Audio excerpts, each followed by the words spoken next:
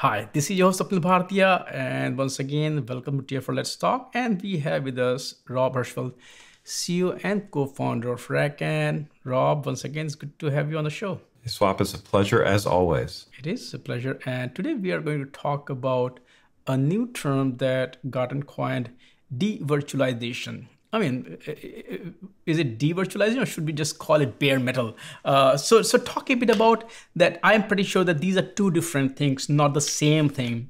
Uh, first of all, let's talk about, we used to talk, deal with bare metal, then we start talking about virtualization because virtualization solves a lot of problems. If you look at the telco industry, I mean, we, we work in the OpenStack space and it changed the whole market. And now we are talking about de-virtualization.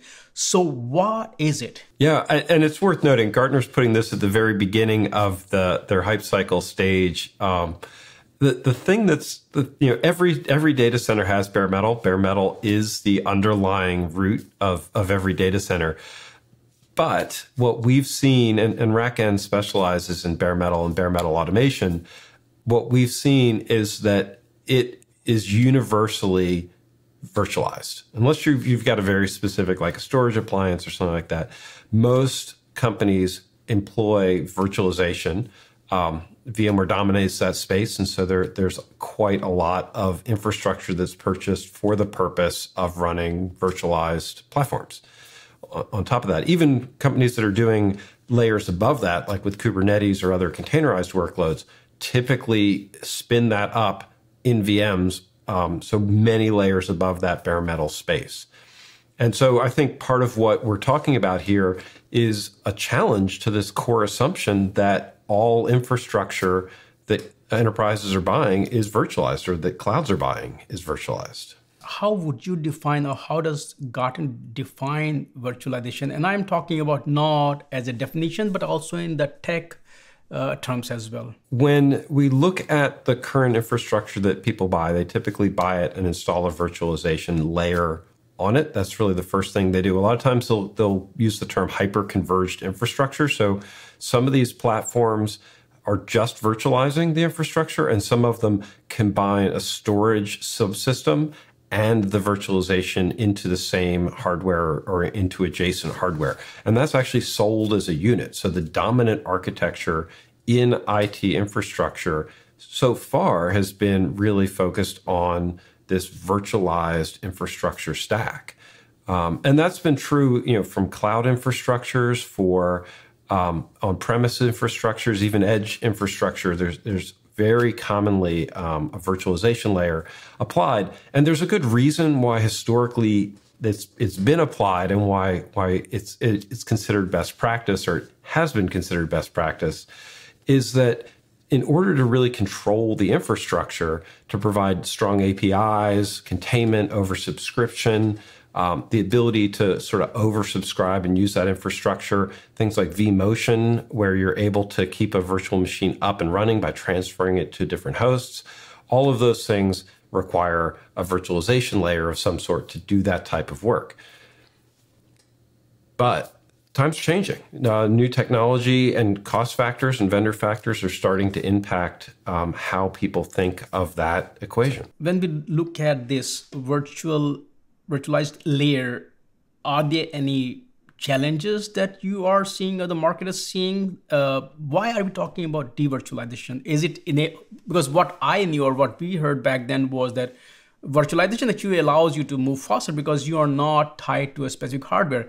The fact is, even when we're talking about you know function as a service or serverless, I mean the hardware is there uh, uh, and you know hardware has its own limit you know that's why you know with virtualization and software defined things you can scale and you can do a lot of things but the fact is that there is always hardware there is always bare metal so so what was the challenge with virtualization and why are we talking about de-virtualization so there's a couple of drivers uh, for devirtualization, one of which we've covered in several conversations already, which is the challenges with uh, the VMware acquisition by Broadcom and Broadcom going in and raising the rates and, and, and challenging the status quo for how licenses of virtualization are bought and what, what the costs are for them.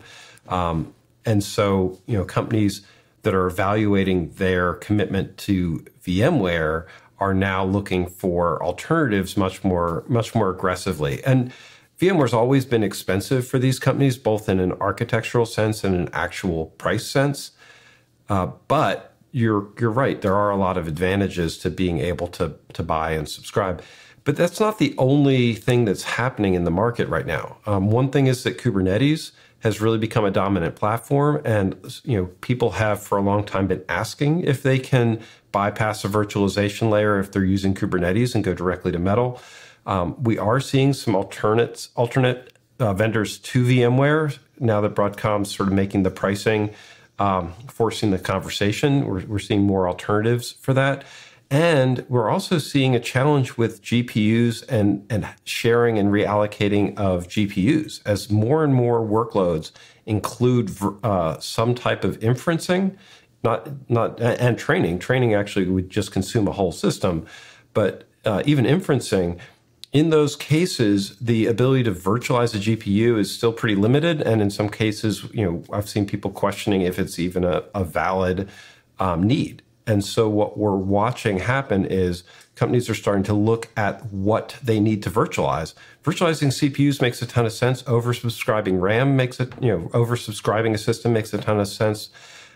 It's not clear that you have the same benefit for GPU and GPU workloads. And so as companies look at what they're trying to buy here, the simple equation of I need compute, storage, and networking has been disrupted by asking I need compute I need GPU inference capabilities. I I need storage, but not as much. I need a different type of networking, a lot more east-west networking potentially.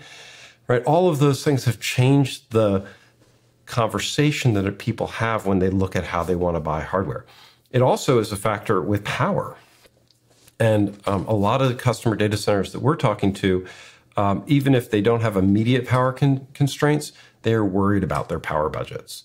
And so they are looking for architectural changes. They're looking for processor family changes. They're looking for different ways to economize on how their systems are going to run.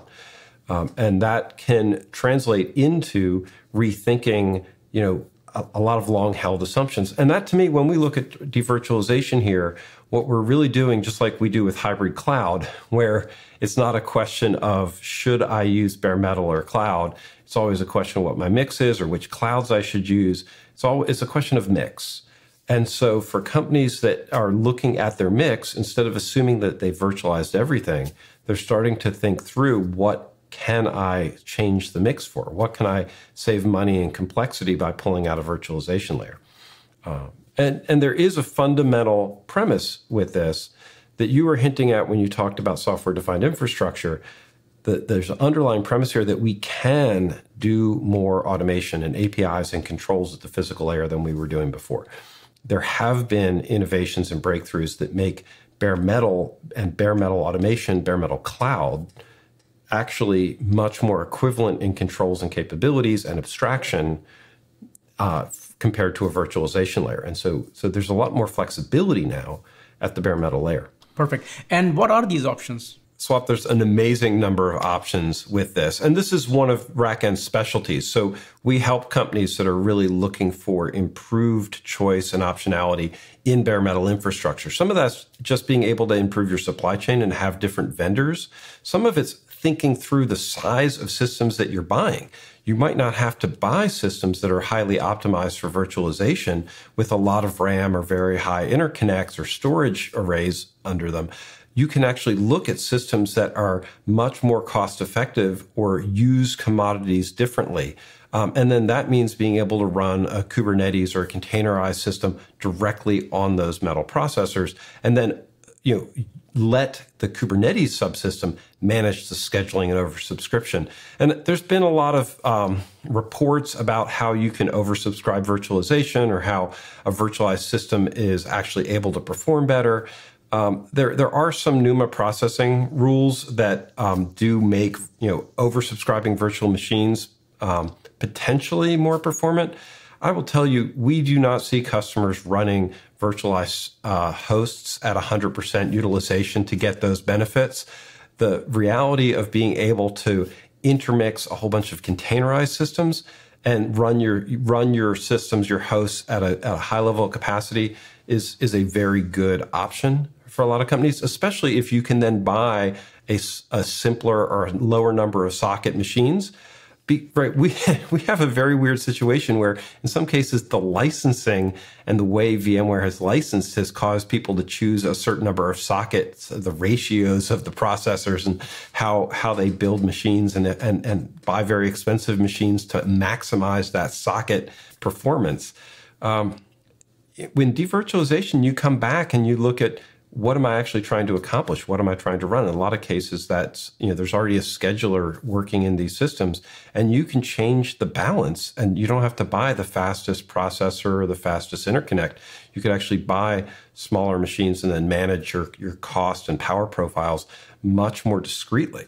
Um, so it, it's a remarkable amount of flexibility that's empowered by looking at these systems in a very different way and challenging that simple assumption of I have to virtualize, I have to put a big storage array to manage the virtualization. And that doesn't mean everything's going to be devirtualized, right? There's there's some workloads, especially older legacy ones, that rely on vMotion or rely on high uptime or rely on you know the virtualized APIs those things, you know, it doesn't it make sense to keep them where they are. But you know what we're seeing is a lot of the new workloads that companies are writing that, that they're designing for the cloud. Those can be migrated to a uh, bare metal infrastructure, devirtualized infrastructure, and run very effectively um, with immutable uh, OS deployments. You can run them with high API, high turn rates, letting the machines get reset and adjusted right? All these things that we're used to having virtual machines required to do, none of those things you know require virtual machines. We have replicated all of the performance and API controls that you get in virtual machines and clouds on bare metal. That's that's a core tenet of how RackN provides value for our customers.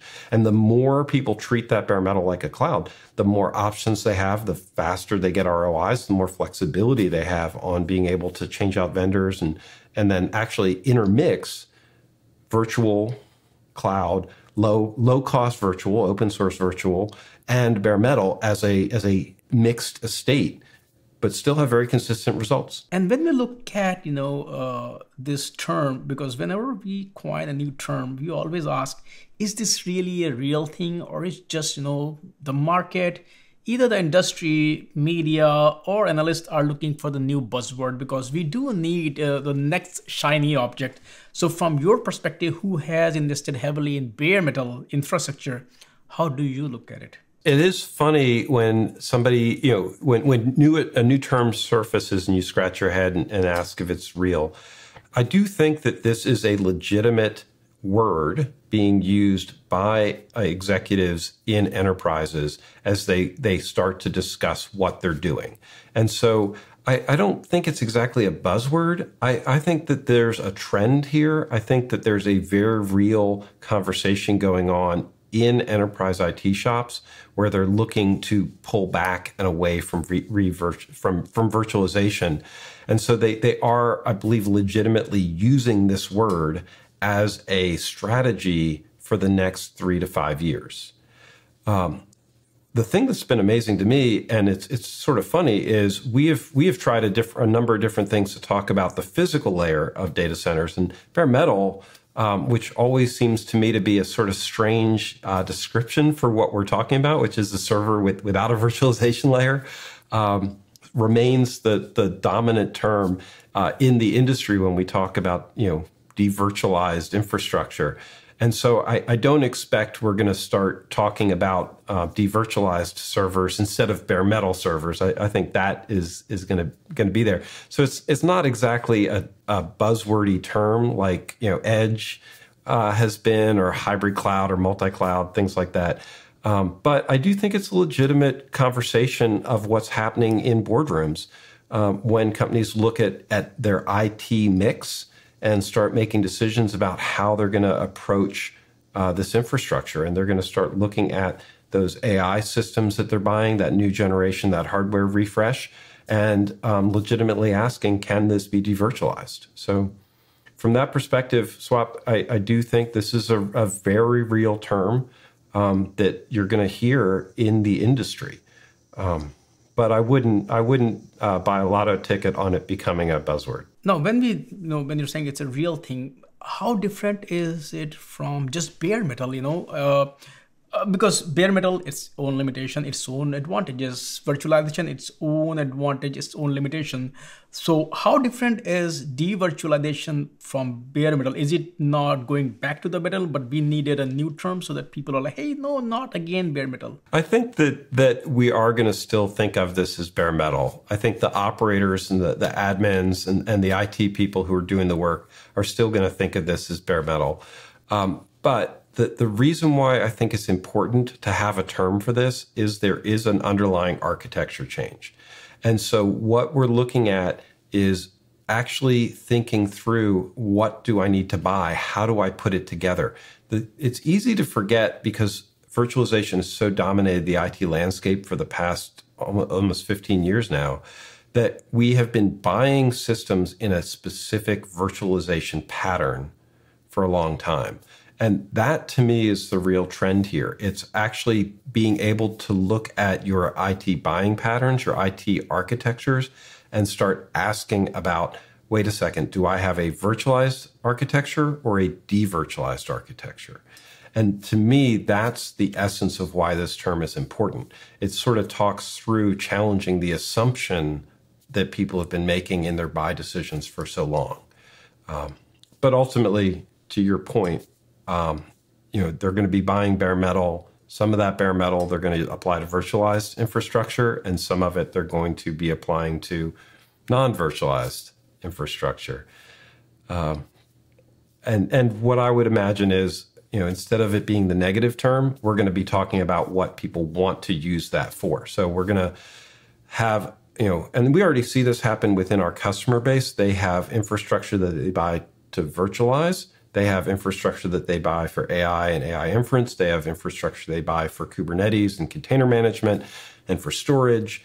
And so what what we're really seeing, and I think this is the normal, the new normal, is companies are going to buy infrastructure for, you know, for a role, for a purpose, and that's what they're going to be looking at it for. One thing I do hope though out of this is that we have been using virtualization as a way to normalize infrastructure so that companies didn't have to worry about why they bought hardware. And I'm hoping that we're going to continue to get into a place where hardware and the, the, what people buy can be more repurposed and reused.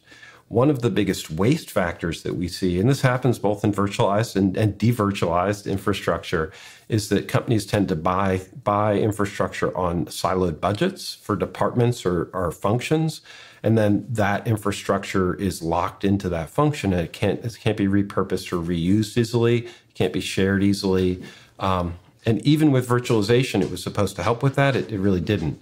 So what what i'm hopeful here is that this devirtualization trend is going to turn into an opportunity to actually have more general purpose infrastructure to improve the utilization rates because now we can take infrastructure that was bought for one use and repurpose it into another. That, the ROI on being able to do that is tremendous, right? These are expensive assets. They get locked into a, a, a, silo or an organization. They don't have high utilization, or they reach a life cycle and they could be repurposed. If we have the controls and the automation and the workflows to actually treat these infra- this infrastructure, this bare metal infrastructure, as a more fungible asset, then it can be reused, its life can be extended, it can be shared. That type of bare metal cloud thinking, where you're treating your infrastructure more generally, is amazingly powerful from an ROI perspective and something that best in class do think of their infrastructure that way, but it's very easy to get trapped into I bought this infrastructure for this department and then you know not be able to reallocate it even when it should be. And can you also talk about how is this different or related to repatriation? There's a lot of conversation about repatriation in data center infrastructure. Um, i get asked this question a lot because we we see the trend lines by working with our enterprise customers. Repatriation where workloads are moving from the cloud back to self-managed infrastructure um, is real. Companies are looking at their cloud spend. They're looking at you know what their captive costs are and how to manage it. And the ones who've done a good job actually cloudifying, having a cloud native approach to running their infrastructure, find that they can pull those workloads back to self-managed infrastructure with the same fidelity, the same CI/CD, the same immutable immutability and API-driven controls that they were enjoying in the cloud, but for much less money, with some better controls, better data integrity, some data sovereignty re- resolution. Um, all of those things are, are very much factors that we see when companies are evaluating how their workloads are going. Repatriation doesn't mean abandoning the cloud 100%. It means, just like we've talked before, having a better control on what mix of infrastructure you want, better controls on when data is going to move around. Um, and, and that is very much a real trend. Um, and none of it works well without having this bare metal layer um, as a core foundation for that repatriation. So the stronger your bare metal foundation, the stronger you're able to do that control and work, the easier it is to come back and, and repatriate. Um, and it's worth noting here, it's this not it's not as if we're taking we're going from the cloud back into the 1990s data center. When people are repatriating workloads, they are bringing their data set their their workloads from cloud into a 2024 data center with you know high utilization rates, great APIs, you know highly dynamic infrastructure, a lot of automation. It's it's not repatriation isn't moving backwards. It's actually moving forwards into a self-managed infrastructure because you can you have better control both of cost and and data and the infrastructure and workload. Can you also talk about uh, what does it mean for customers uh, when they look at it bare metal virtualization devirtualization how do they look at it? Is it uh, kind of a journey they get on where you know in traditional world when we talk about software modernization we talk about a lot of refactoring. What does devirtualization mean for them? So it's a really it's a really deep question. Um, nothing in it ever should and we don't see it move 100% from a to b. Every everything is always stepwise change um, with with pilots, proof of concepts, with with weight, you know, and, and you know, being able to sort of pull the right workloads over. Um, that's always been an important part of successful designs here. Um, what we see is the ones that are being repatriated are the ones where they've actually done a really good job making them dynamic and agnostic, right? When you've taken the time to not be too wired into one cloud and you've you've you've done that work, you've put in that time, those are the workloads that can be migrated over very, very effectively. Um, but it's the same type of thing. If, if you're running a workload that has a lot of costs or runs a lot of infrastructure, those are very good candidates for repatriation. If you're building a system where it's new, it's just coming up, you don't know what the workload is, you you know you you want to you don't you, you're still building and destroying and, and churning through that initial design phase those are those are great uses for the cloud. Um, you know, even if you're doing repatriation and you're you're you're doing best in class, and you can you know buy infrastructure and bring it up quickly, uh, and we're talking about you know a matter of days for actual getting actual data center infrastructure running. It still takes a long time to go through that whole supply chain process, right? Have the floor space, get the servers, order the servers, bring them on, spec. All of those things take time. So what we're talking about for repatriation are often mature workloads, things that have really known uh, footprints in the cloud, usually bigger footprints in the cloud. Those are great candidates for this. Um, and one one note here is that there's some talk uh, in circles I travel in that things that require tremendous power and the very latest uh, technology, like a, a big training set, those things might remain in cloud, where the cloud vendors you know have the resources, but then running the inference of that model that might be something that you pull back on house where you want more control over um, what's happening, the data sovereignty, how that model gets used, right? Um, and in a lot of cases, our expectations are that the inference side of running AI models is actually going to be the more durable, long term, higher demand component of this application. And so, one of the things that's really important is that we are seeing companies intelligently switch their thinking or split their thinking between the inference and the training side of their models. So they they know they have to train models that we're talking about building small LLMs so that they can be applied in very, very detailed, highly effective cases. And then those smaller LLMs run in inference farms where they don't require hundreds of GPUs to be interlinked in massive high power systems. That's what training is for. A lot of times, an inference model, especially if you're using a smaller model, you could run 10 or 20 of those models inside of a standard machine with a couple of GPUs and a, and a fairly normal memory footprint. Um, that's what we're looking at. When we're looking at repatriation, we're looking at devirtualization and running your own bare metal infrastructure. It's not necessarily building a whole bunch of training farms. It's actually coming back and looking at your inference workloads, which companies are rightly architecting to need and plan for. So the expectation is every application people are building in the future will include some degree of inference. And that inference will be done at scale as part of the normal workloads for these systems. That is a big part of why they're looking at devirtualization as a trend, because it's challenging the architecture and the capabilities of the systems they've bought in their refresh cycle. Um, that was going to happen either way. Broadcom just accelerated the trend by making their licensing changes and pricing changes. What does it mean for RackN? This is straight in RackN's wheelhouse. So we have, for the last 10 years, been working to build just cutting edge uh, bare metal infrastructure and automation. And our mission has been very simple. It's to make the bare metal automation, the, the actual running of that self managed infrastructure, repeatable and easy so that when you buy infrastructure, we show up with software that has all of the best practices baked in, that all that expertise, all that knowledge, all of the streamlining that we've been doing for the last 10 years is baked into the software. So when our customers are buying that infrastructure, they operate it with a much higher degree of confidence. They operate it with a higher degree of collaboration so that when things happen in that infrastructure, when there's patches or security issues or UEFI changes or, or vulnerabilities exposed, right? Those are normal components for running infrastructure. But because we've baked that into the platform, that actually is part of a way that we can then take um, shared knowledge, shared learning, shared capabilities, and we can distribute as part of the platform back to our customers. And so it really is a very uh, liberating thing to look at being able to run your own infrastructure, but not having to invent your own bare metal automation, figure out how to do patches, buy it exclusively from one vendor and be beholden to that one vendor's patch or out of band management style, right? What we've really done is taken what has been um, more of a, of a, of a trade of managing bare metal infrastructure where there's it's done differently and, and in a unique way for every customer. It's very hard to do at scale. It's hard to do things that scale up.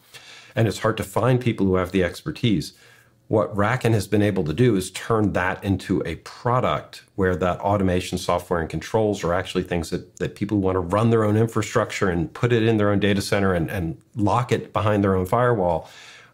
We actually take all that expertise and then embed it into the product and give customers the benefit of that lift in running their own infrastructure. And it's, it's transformative in the ROI they get and in the confidence that they have in running that infrastructure. It really does change how they how they think about what they can buy and how they operate it. How is market, how is the ecosystem reacting to devirtualization? What kind of if it is early days, what kind of trends, what kind of future you see? Oh my goodness. It's fun in that, you know, three years ago, two years ago, the idea of bare metal and data centers and buying data centers um, and running infrastructure was was sort of seen as like not that exciting a trend line, right? We we had baked in this assumption that everybody was going to be in the cloud and the cloud would own everything.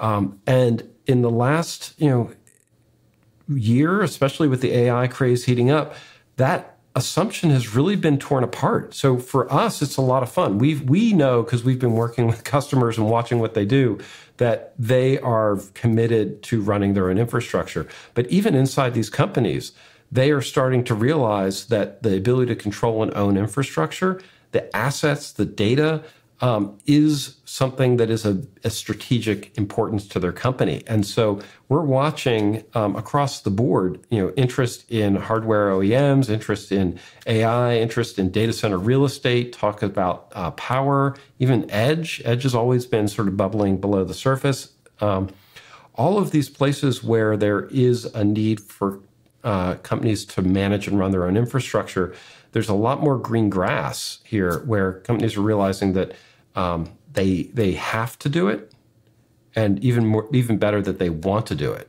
Uh, and so we're finding a lot of interest in in these topics um, at the at the executive levels, and they're starting to realize that they they can build their own infrastructure and run it um, and do it with a high degree of capability. Rob, once again, thank you so much for taking time out today and talk about devirtualization. And I look forward to the next discussion. Thank you. As always, a pleasure. Thank you.